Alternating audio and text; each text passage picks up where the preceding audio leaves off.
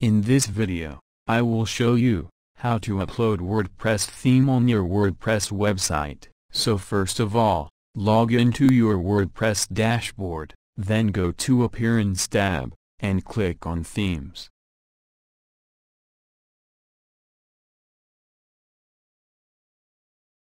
Now click on Add New. Click on Upload Theme.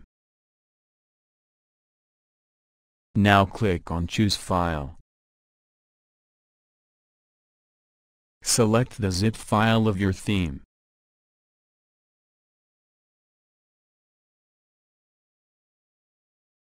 Now click on Install Now. Now the theme is uploading.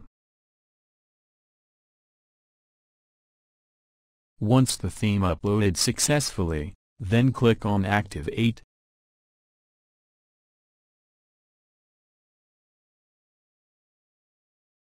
Thank you for watching this video. If you think this video helpful then please like and share this video.